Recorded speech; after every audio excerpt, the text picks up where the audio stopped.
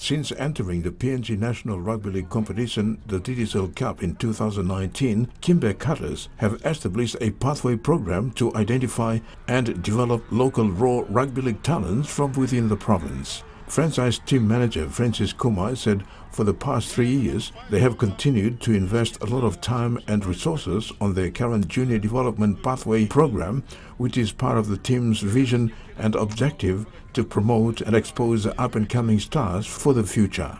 Kumai made mention of PNG Hunters new recruit Tony Warrott, Guria's Mark Alunga and Stephen Bruno, and the Tigers Lionel Molpaya as products of Cutters' development program. We have a, a very good uh, school development program uh, that is currently uh, active in, in the province.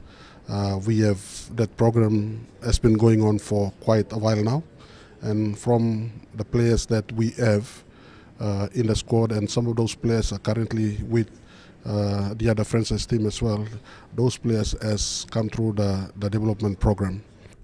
On the Cutters' preparations for the upcoming season, Kumai said though they have a very young team, he is confident they will be competitive. We are expecting a good uh, challenge this, this year. We are happy with the, the standard of uh, the forwards as well. We have a lot of uh, new recruits from uh, Goroka. Uh, we have four of the uh, Goroka Lahanis players who are currently with us.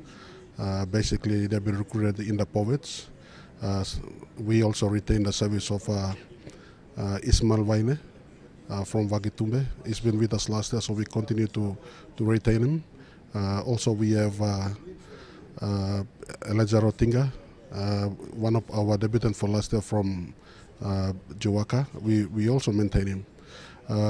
so far, so good. the, the training has been going well in preparations for the 22 season. The Kimbe Cutters will kick off their season against PRK Mendi Muruk in Lae on the 17th of April 2022. Terry Longwood, TV1 Sports.